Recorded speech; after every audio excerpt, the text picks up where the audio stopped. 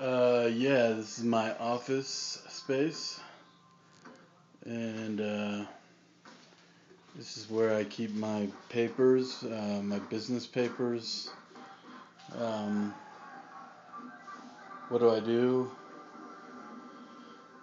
Uh, I'm unemployed, but um, this is uh. This is my office where I keep my papers, my business papers. What do I do? I'm unemployed.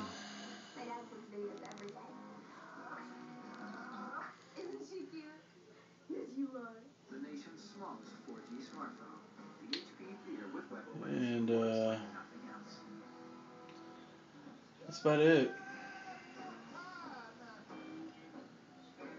All right, well, um, take it easy.